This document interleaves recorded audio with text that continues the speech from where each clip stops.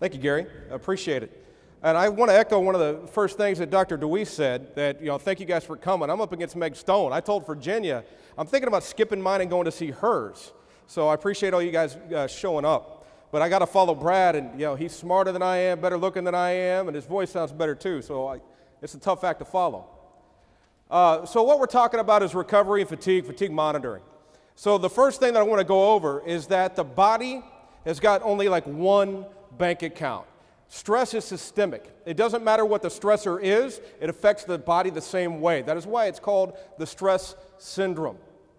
There is not a different bank for strength training, for conditioning, for class, for relationship, for family. Everything pulls from the same source, that same bank account of sorts. You know, at Missouri, we have a thing we call money in the bank, and you know, everything takes money out, some things put money back in. But all stressors, then, they're going to be affecting training. They're going to be affecting training. It could be you had a break up with your girlfriend, you got a test coming up, etc. All these things affect training. You know, at the NCAA, we're limited to eight hours a week that we can have with them in the weight room. There's 168 hours in the week. So we focus a lot on those eight hours, all that we can. But you got to take into account, too, those other 160 hours, man, they matter too. They matter too. Now, monitoring. This uh, enables you to account for the other 100, 160 hours. So you can't do it without monitoring. Now, this slide is one from uh, something that we've got currently in review. It's the effects of stress on injury. Now, these black bars here, they're representing uh, high physical stress. That's training camp. The gray bars, these are test weeks. You can see, and the white bars are non test weeks. So you can see the effects just quite simply from this graph of academic stress on injury. Whenever we had a high academic stress week, we had a lot more injuries. We had a lot more injuries. Now, before we get going, one of the things I want to talk about is a little bit of perspective. We've got internal and external loading. Okay, eh, eh, these two things are different. The internal loading, that is the body's response to the exercise. So it's not what you did, it's how you responded to it. External loading is the dosage of exercise that's placed upon the individual. So, for instance, you know, we've talked about a lot of different technologies at this conference. There have been a lot of different talks that they've been doing it. Uh, external loading, catapult, GP Sport, those would be great examples of external loading. Internal loading would be things like heart rate. It's not what you did, it's the body's response to it. So you've got to realize what you're looking at and what you're dealing at and make sure you're applying it to the right means. Okay? Now, one of the things that I've heard, heard and talked with, with people in the past is like, man, monitoring, it sounds great, but I can't do it. We don't have a budget.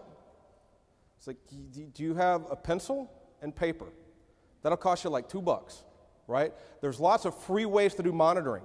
You could do RPE training loads, questionnaires, and morning resting heart rate. Those are going to be the first thing, three things that we're going to go over.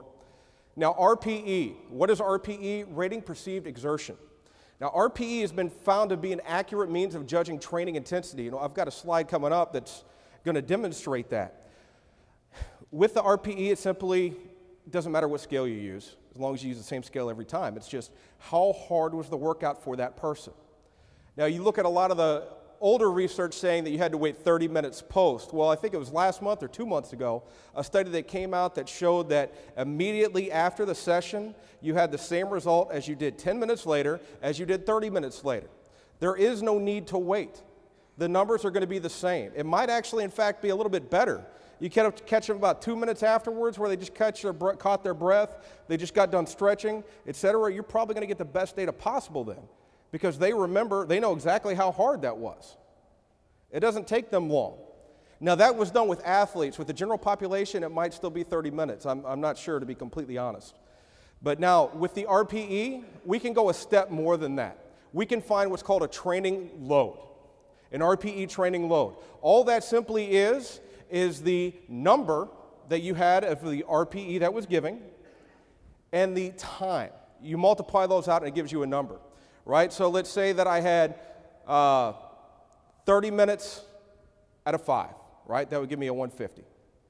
Okay, well, what if I do a, a shorter workout? Let's just say it's 10 minutes, but it's a 10. It's 100. It's a lot closer to that 30 minute workout, but I only had 10 minutes. So it's a, just a simple way to sum and quantify how hard things work. It's a, you don't have polar heart rate training system, that's fine. You can use RPE. It's simple, it's quick, it's easy. It costs you a piece of paper and a pencil. One of the ways that I've done it, that I know people are like, well, that's great. Well, how do you do it? One of the ways that I've done it that I tried this summer and it worked out great was with, the, uh, with my soccer team. I had them bring their phones out to the track. We did through, went through the whole workout. We stretched. And I said, hey guys, go grab your phones. Email me your response. Don't talk to each other. I don't want you to respond. I don't want Gary to be basing his what he's telling me off of what Adam thought it was. So I don't let them talk to each other. I just have them email me directly. And one of the things about emailing me, emailing it to me is it eliminates that human element. You see, most people, they're always trying to give you the answer that they think you want, that they think you want, not what it really was. So to eliminate that, you take the human element, human element out of it. They're not telling me, they're simply responding by email. That takes out some of the human element. Also, you've got to coach them up and instruct them. You don't want them to try and guess what you're thinking it is. You've got to make sure that they understand the purpose behind it. It's like, hey, guys, you know, I'm just trying to see what you thought. I don't care what I think. I know what I think it's supposed to be. I care what you think, how you thought it was. So instruct them to do that. You'll get better data. Now, monitor over time. So, you, whenever you're monitoring over time, you can tell you do the same workout one day, you get an art training load of 120. You do the exact same workout three weeks later, their RPE training load was like 190. Well, you know something's going on. You know something's going on. There were additional stressors that affected that athlete to cause that workout, that perceived exertion to be higher, even though it was the same external load, the same training stimulus imposed on them. Now it's harder. They're most likely have gone into overtraining. Uh, another thing that it does is it checks if the coach rates it and rates the individual players as well. It's not, it uh, compares what the coaches think versus what the athletes feel. And this is actually really great for new coaches. Uh, we did this all season with the soccer team, and we had every single coach do the RPE of the training session. And it was interesting to me. The older coaches with a lot of experience, they were right on.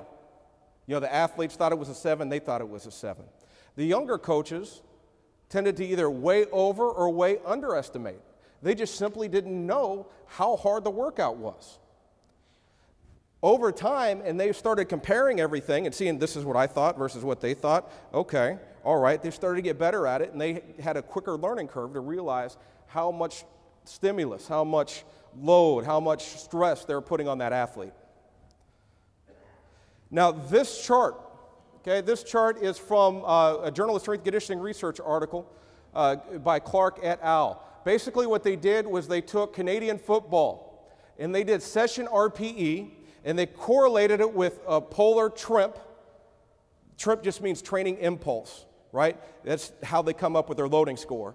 And also the Edwards training load. And you can see that for most of the people, it was pretty good. It was pretty good. The mean 0.78 for free, I'll take that. I'll take that for free. Is the polar a little bit better? Yeah. If you've got no money, is it $6,000 or $12,000 better? No. This is better than nothing. Is it the top of the line? Absolutely not. Is it something that you can do and not cost you anything? Absolutely. Now, resting heart rate. Resting heart rate is something that's been around forever, and a lot of people forget about it. First thing that they do whenever they wake up is they track their heart rate. Have them send it to you, or you could even use some other different programs. We'll talk about that later. The old school stuff, Poliquin, and some other things that I've read, if the resting heart rate increases two beats per minute, it could indicate that overtraining has taken place. That's for most team sports. Now, with endurance sports, You've actually got to watch out for both ways. For both ways. If you see a two beat decrease overnight, that's actually indicating overtraining for them.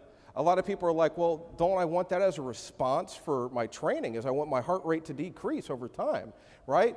Yes, you should see about a one beat per minute decline whenever you see that. Whenever you see two or more, on an instantaneous overnight, that indicates that they've got symptoms of uh, parasympathetic overtraining. If you read the German literature, I believe they call it Basedowian overtraining. But there's you got two parts of the autonomic nervous system. You got the sympathetic, you got the parasympathetic. You can overtrain either nervous system because those are uh, you're drawn from both in sport. Now, questionnaires. Okay, I put semi-free up here. Some are, some aren't. Some are free, some are not.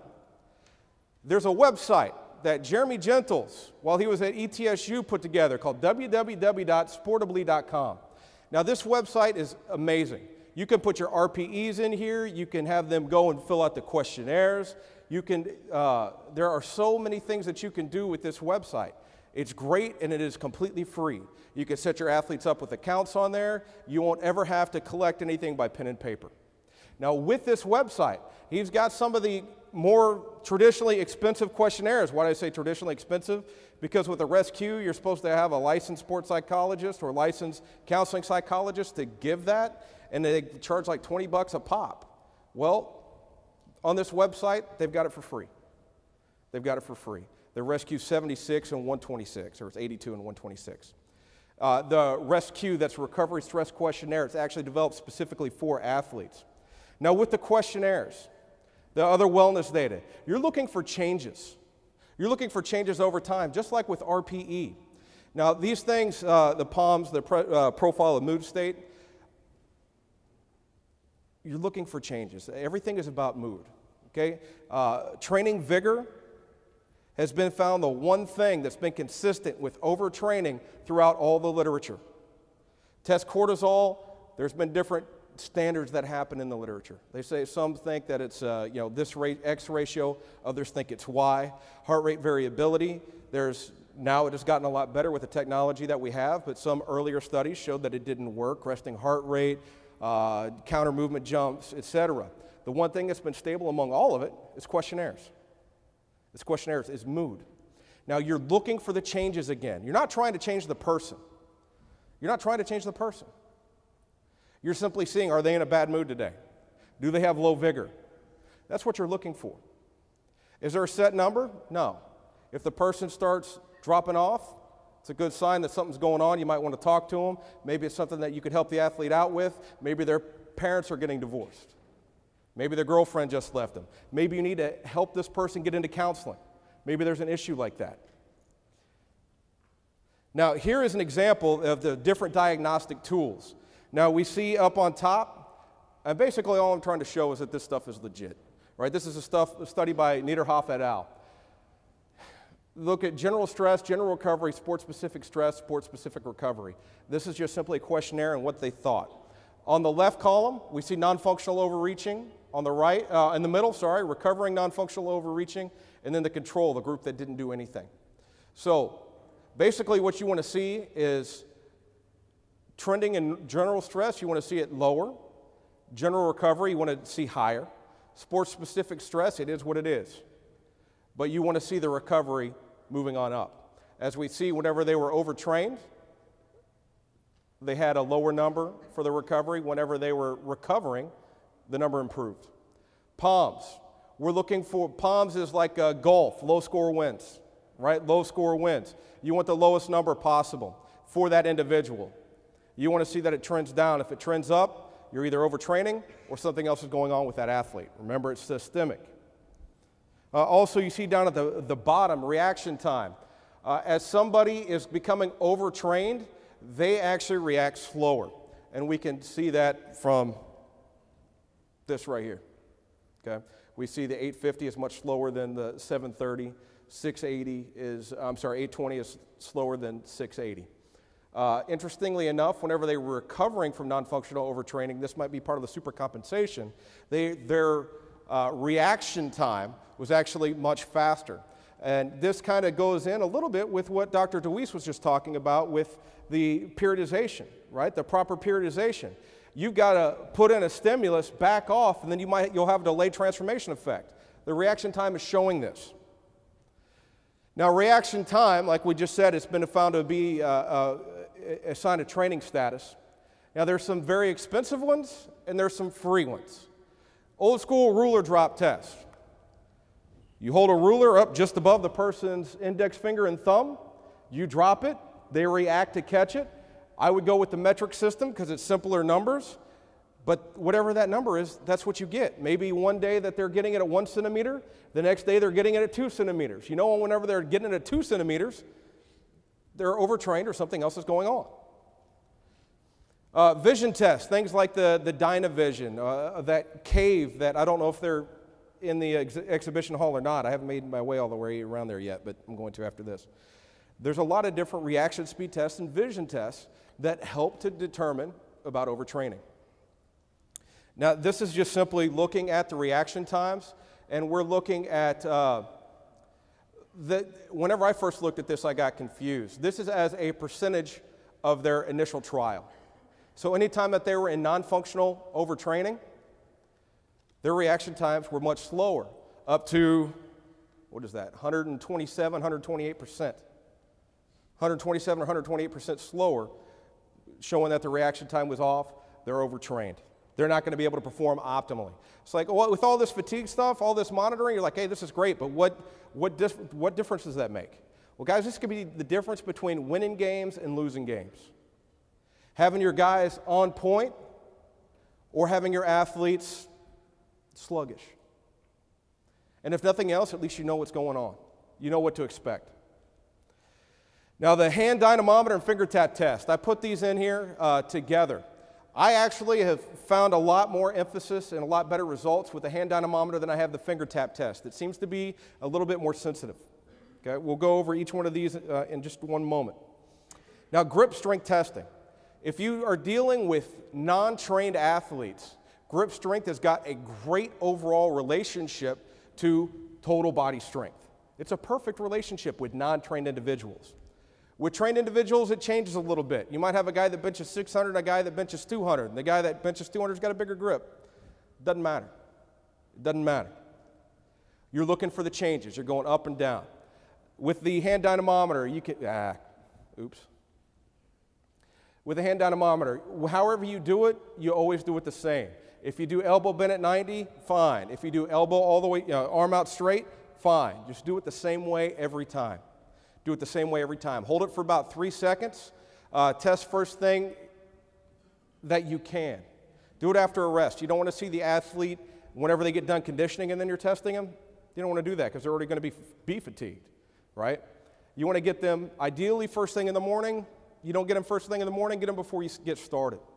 And again, you're charting and you're looking for trends that may lead to injury. Uh, it's great actually for pitchers in baseball or softball. Uh, it's great because the pitchers in, the, uh, uh, in both sports have got so much impact with the ball and they're doing so many different things with their hands. If you start to see their grip strength drop off, their pitches are going to be bad. So you know that it's, you need to take a little bit more time for them to be able to, to pitch again or do some additional recovery methods, which we're not going to go into because I know Dr. Marcelo did a heck of a job on it. With the hand dynamometer, here's a little trick that I did. I kind of cheated the system.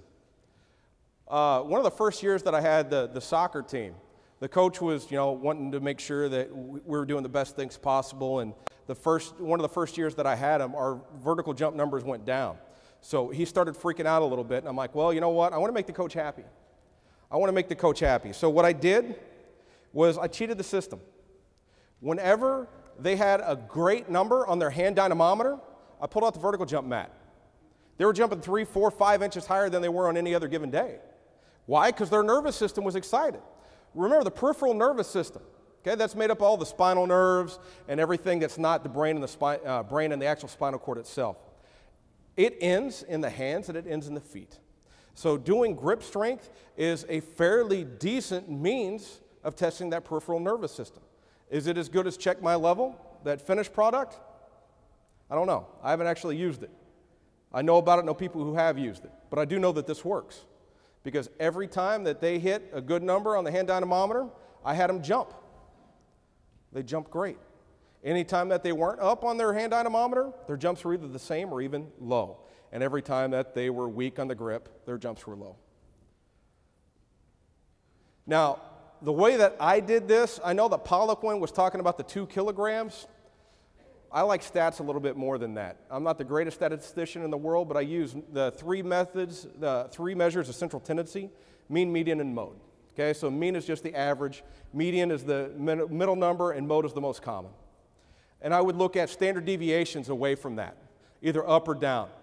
Now, if I was a, uh, a standard deviation up from baseline, I would look at doing power on that day.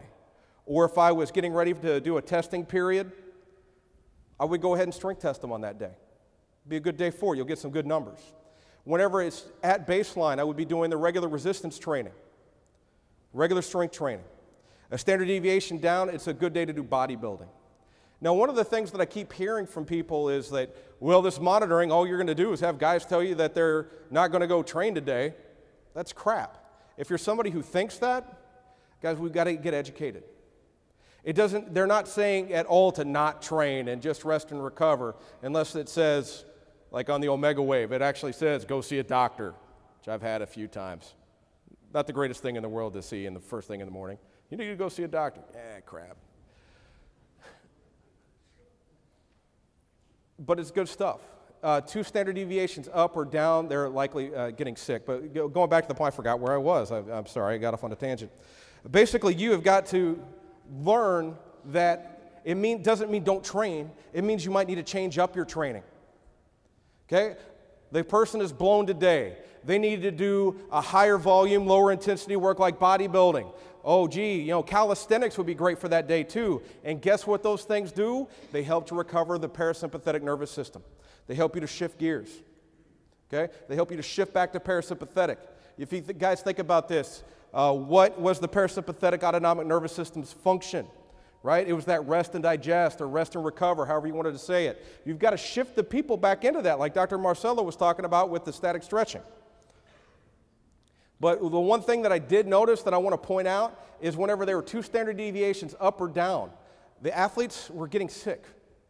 The next two days, they, they were always sick. So if there were two standard deviations up, I'd have them train, they'd have the work out of their life, get some great PR, and I'd lose them for a week.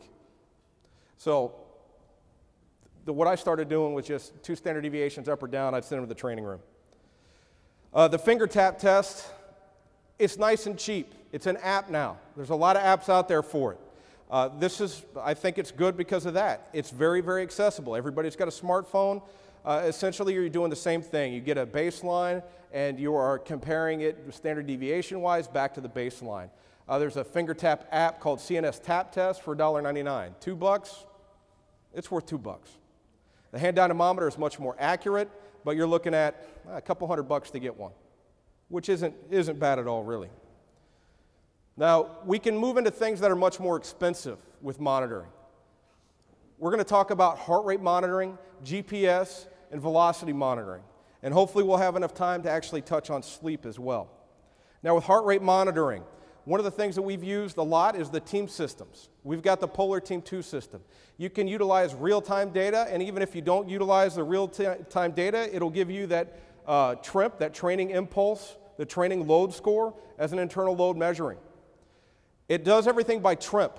Okay, what is TRIMP? Well, the numbers uh, are based off of time spent in different percentage zones on your heart rate. Okay?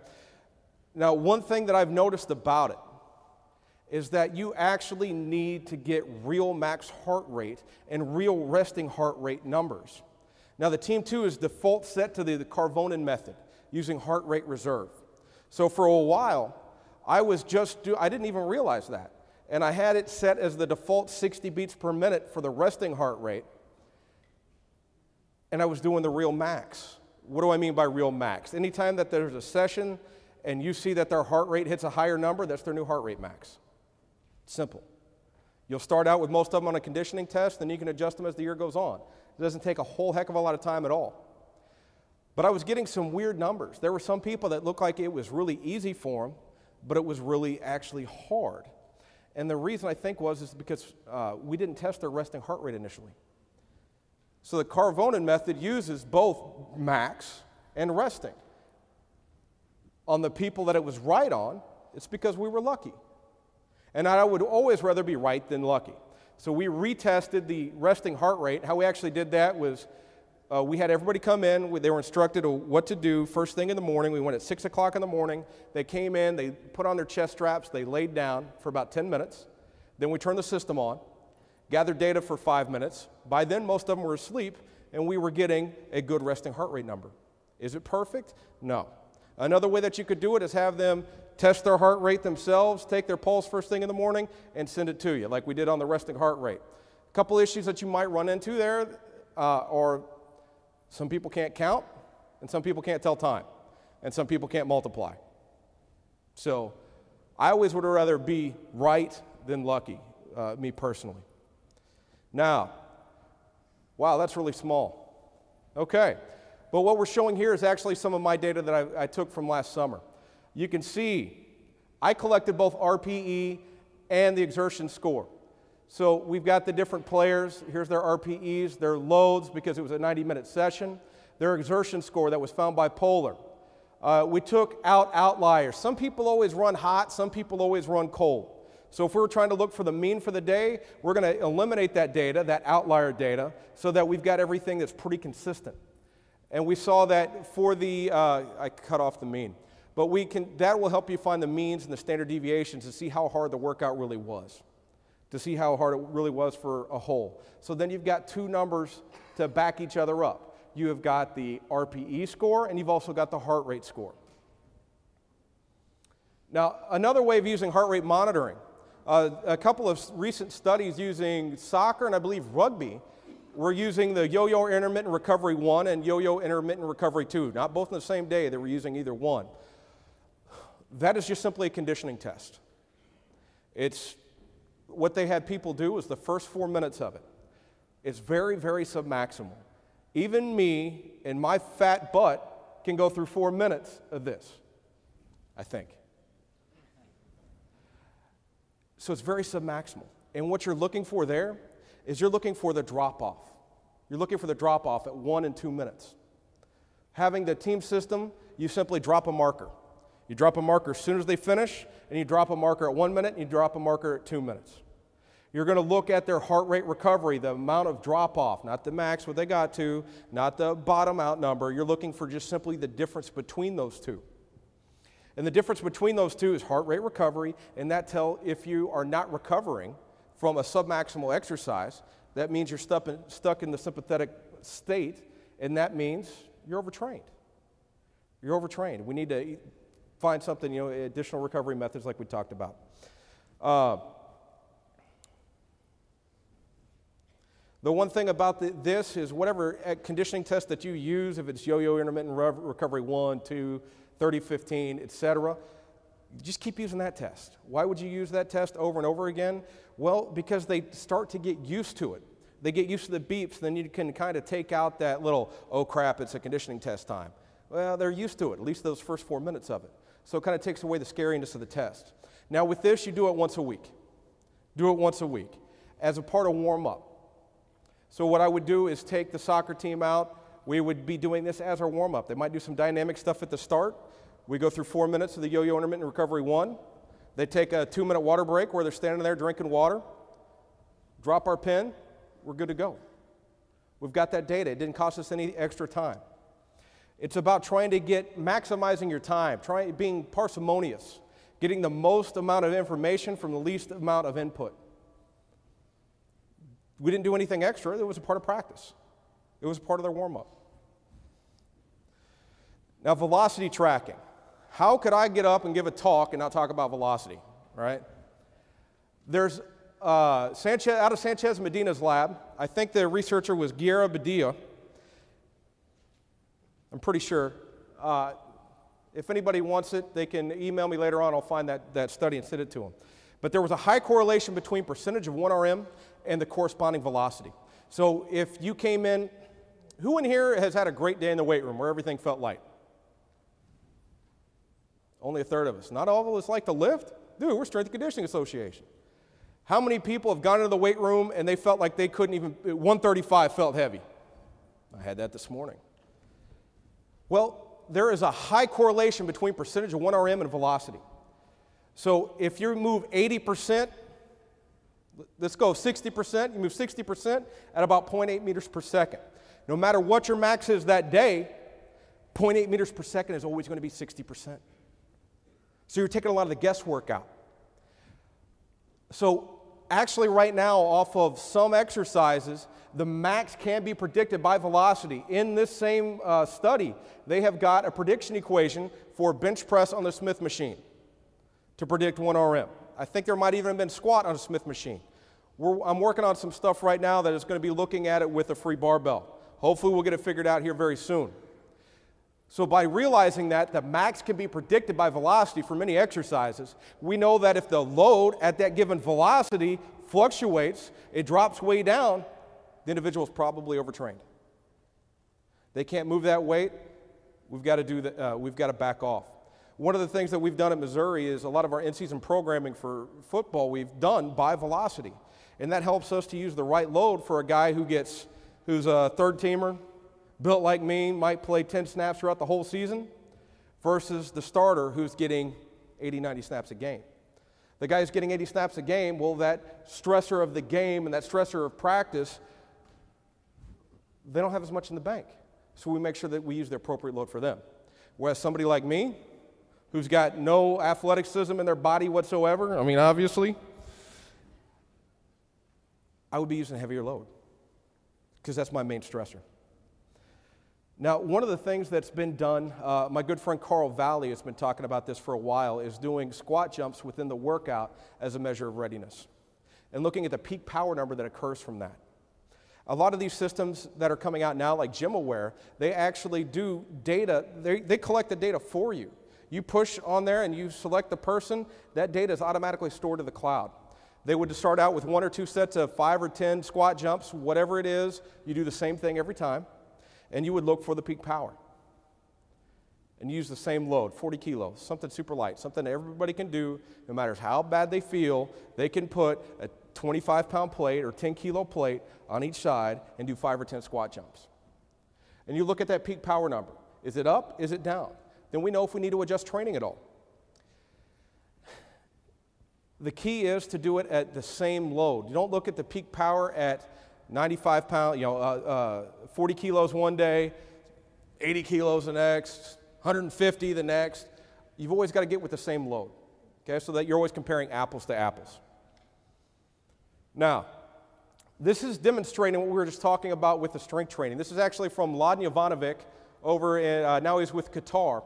Uh, this is a study that he studied. This is a review paper that included some of his own data uh, in the Australian Strength and Conditioning Association's journal uh, earlier this year. We can see that this dotted line right here, this indicates the pre tested 1RM. What they did in their testing session, this is what he got on a 1RM. Now, he, did a, uh, he does a velocity profile for each person. So he knows the percentage of 1RM versus the exact velocity for each person. That's a lot of work.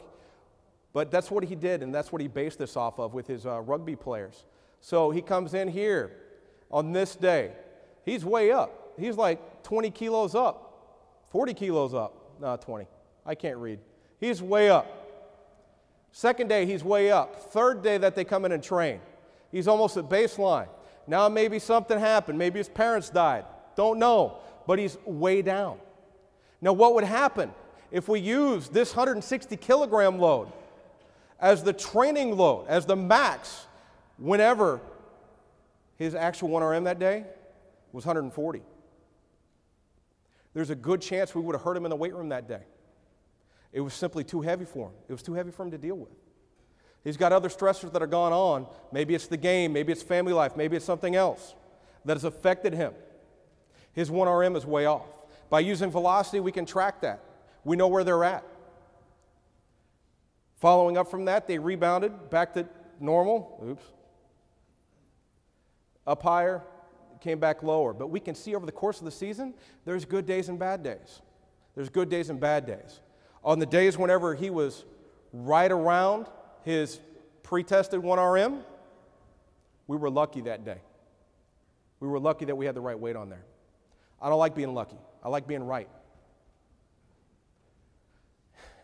Also, one of the things that people have done before and uh, is testing with the counter movement jump, doing that daily, weekly, etc. This simply is a, a test showing, uh, I believe they use the force plate on this.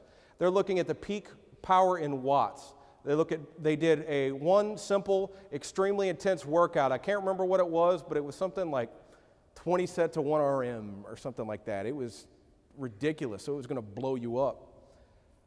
Their baseline was 65.1 uh, watts per, ki- uh, per kilogram. Right as soon as they were done with that workout, it was 62.8. So well below baseline. The fatigue had shown up, the neuromuscular fatigue had shown up. 24 hours post, they're back to 63.9. 72 hours post, they haven't even returned to baseline yet. They're 64.7. Are they close? Yeah, they've gotten close, but they're not fully recovered yet from that one training session. So, counter movement jump is something else that you could use. And this is for, I should include this slide up in the earlier part. I'm not that great with the mouse. I was doing it on my laptop. There wasn't even a mouse, it's that little pad thing. I, somehow I moved it all the way back here. Uh, also, off of this previous study, we're looking at the rate of force development. They looked at that as well. If you look, the rate of force development is a function of time. Baseline is this nice dark solid line. Now remember, rate of force development is how quickly you can produce force. You want that curve as far to the left as you can. Think back to that old Kraemer slide from the Gatorade Sports Science Institute, number 12 or 13, something like that. It was real early on, whenever he was talking about the explosive ballistic versus heavy resistance train, and how heavy resistance train you produce force, more force overall, but with explosively ballistic train you produce more force in sport because it was much further to the left. Well, we want to see that force curve, that RFD curve, as far to the left as possible. At baseline, it was the furthest to the left of all of them because that neuromuscular fatigue had showed up. Now, what does this mean in sport? This means that they're a step slower. It means they can't hit as hard. It means they can't jump up as high to get the rebound. It means that if they're going to go from forehand to backhand, that they're slow and they might miss the ball. Their timing's going to be off. So, simple vertical jump and if you're wanting to know how to find uh, power and vertical jump, I got an article on Elite FTS that goes on about that. You know, this would be a whole talk in and of itself, which actually I gave at national conference. Now, talking more about this and just simply using some of the data that we've got and kind of showing with the, the overtraining. Uh, this is a study done by Moore and Fry whenever they were at University of Memphis. Basically, they took the team and they just followed them all through the spring. They had four different testing sessions where they looked at the 1RM and clean and a lot of other exercises. They all followed the same ones. Uh, I just happened to choose the power clean over the rest of them. You can see at session one, this is baseline. Session two, this is whenever they got done with their strength training only. Session three and session four, they had started doing their uh, uh, county fair, mat drills, whatever the place happens to call it, where the football coaches come in and do the conditioning. The strength coach didn't change his plan at all. He didn't alter his intensity, he didn't alter his loads. He's like, man, I don't care what they're doing, I'm doing the same thing, I'm sticking with it. Well, we see what the result is. At three and four, they're weaker and weaker. And the, here's the thing that I really want to point out week one and week four really aren't different. At the end of the semester, the power output they were doing from the clean was no different than if they didn't train at all. Think about that. Is your goal to make no gains? I hope not. I hope not. Monitoring is what will help you get these higher numbers. GPS. GPS is a term of external load, like I spoke about before. Now, simply put, it's the distance one has ran. This is great for practice, for games, etc., for the sports that it's allowed in. But for conditioning, it's not as important. Why would it not be as important for conditioning? You know the distances they ran. Get a calculator. My guys ran 24 100 yard sprints. Let's see what it says in the GPS.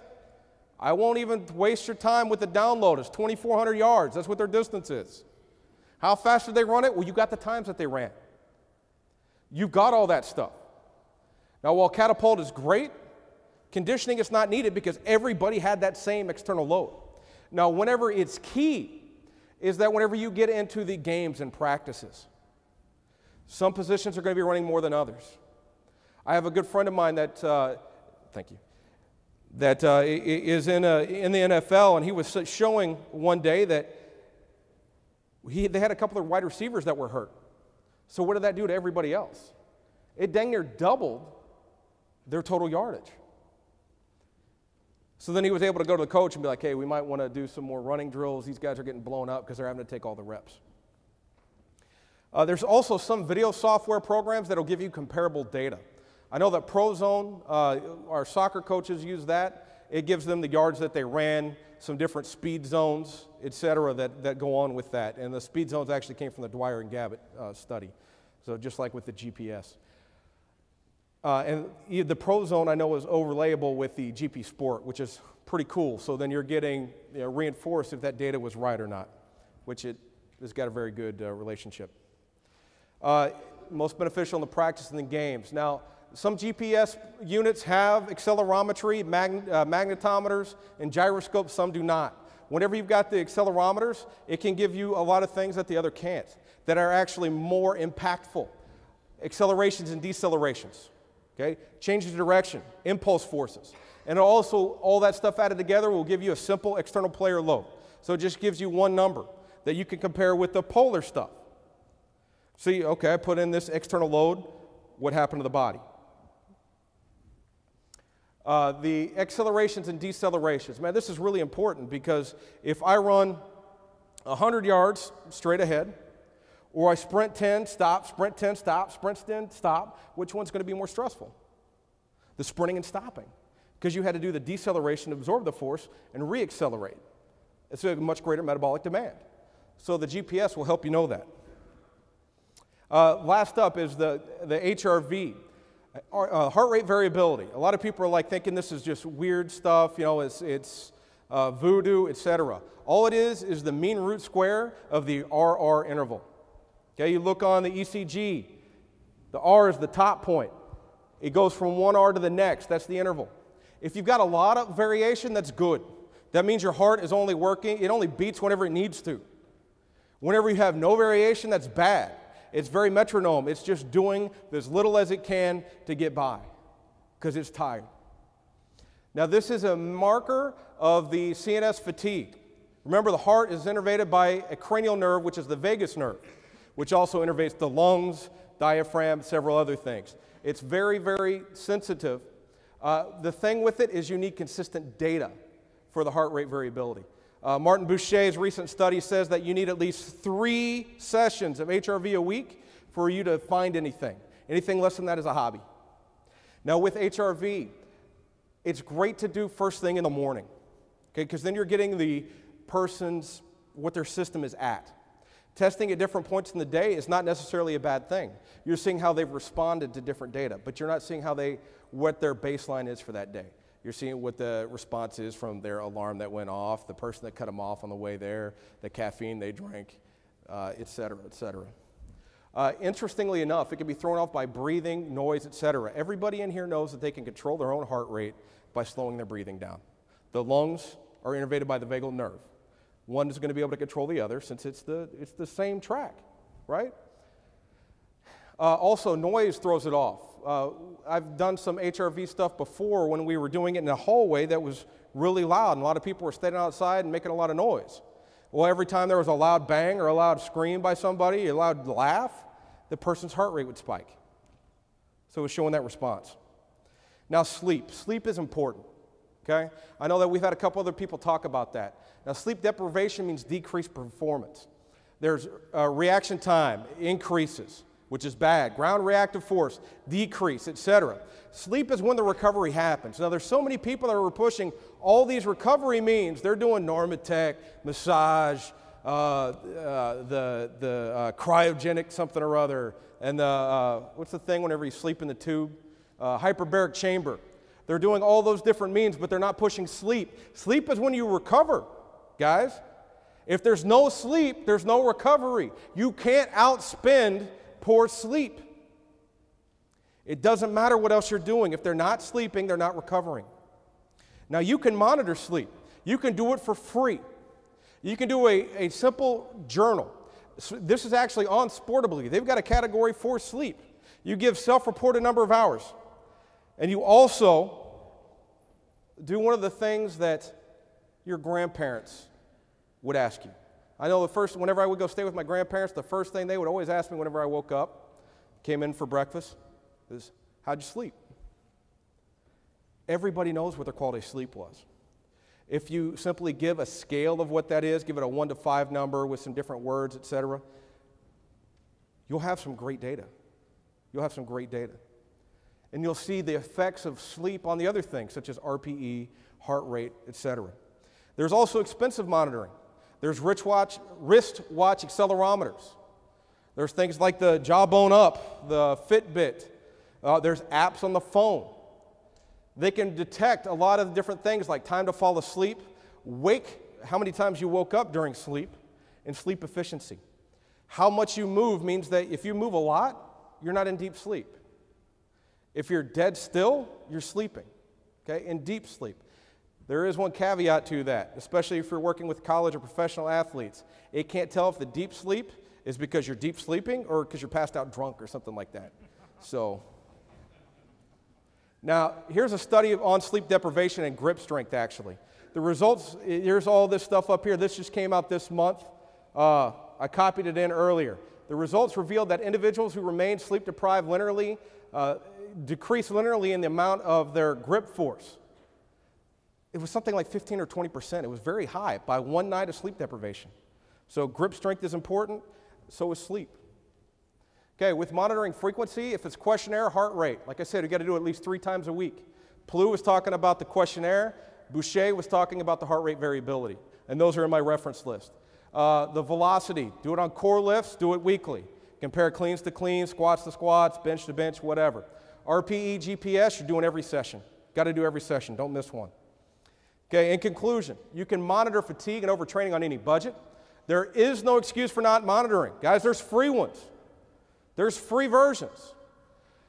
If you see a change in monitoring, it's telling you what's going on. It's telling you what the person's status is. And remember that readiness and fatigue are systemic.